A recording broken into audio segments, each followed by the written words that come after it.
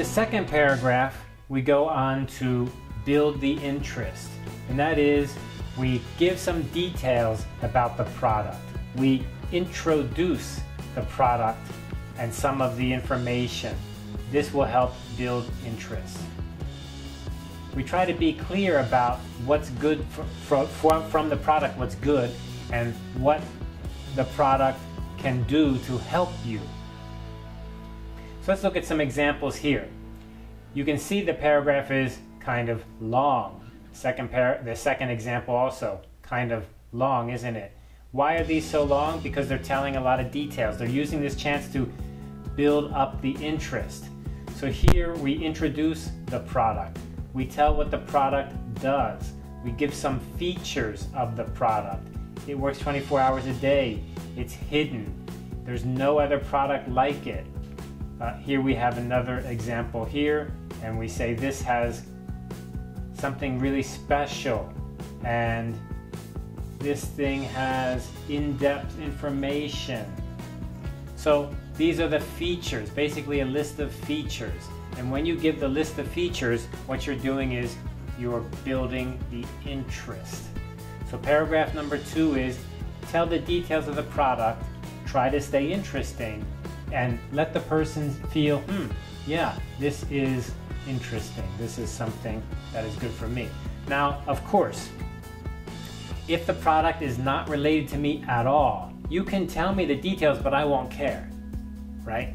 So that's part of the key of sales is you cannot sell something to someone if they're not interested at all, right? You know, I'm a man, you cannot sell a dress to me because I don't wear a dress, right?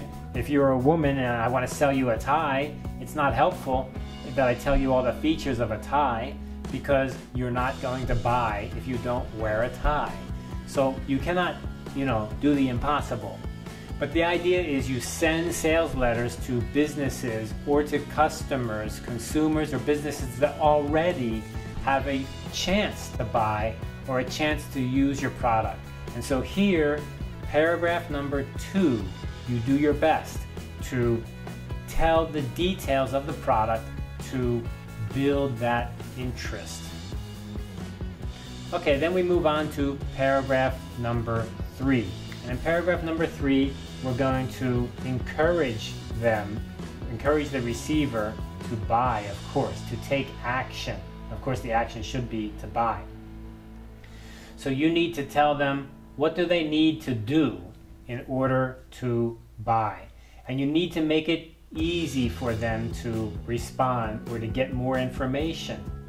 And of course, you can do something extra, like maybe give a price discount or a special sale price or buy one, get one free kind of thing.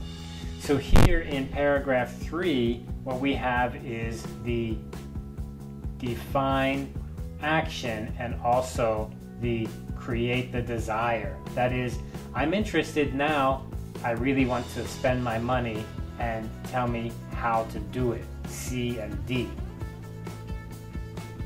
So if we look at a couple examples here, we can see that we're talking about the product and we go on to say the product is really good and then look at this piece here, right here beginning. Can you afford to pass up this chance?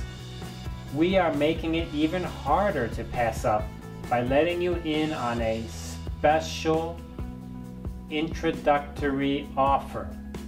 If you send us the enclosed order form, we will cut the theft-proof system price by 25%. So there's the special offer. That special offer is helping to see, create desire. We cannot continue this incredible offer for long, so it's limited, limited, right? Now inside the letter we may include some information or inside the email we may include a button, right? Click here, right, to buy, or a link, an HTTP link maybe, and you can go to the website and buy there. So that is the D, define the action. Let's look at this second example here. So again, we say a couple positive things. We ask the consumer to maybe buy right away. And here we give a 40% off. You see? 40% off. So that right there is helping to see create the desire. Now remember, you cannot do the impossible. If I give you 40% off, but you're not interested to buy anyway, because you're not going to use the product, this doesn't help. But the idea is if someone is interested, if someone is interested, then A, paragraph one, attract attention. B, paragraph two, build the interest, tell them the detail. And C, here, we create the desire by maybe giving something special, like a sale price or a special offer. Okay, inside your book, there's a number of examples you can follow. And again, remember the letter format, right? Up here we have the heading, and then down here we have the opening, then down here we have the body, and down here we have the closing. And the heading is, who is this letter from? And the opening is, who is this letter to? And the body is the information, of course, in this case, three paragraphs. And then the closing is also, who is it from? Okay, good luck with your sales.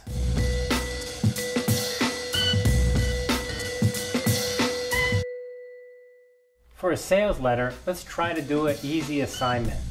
Let's just go for 100 words using your QBL software.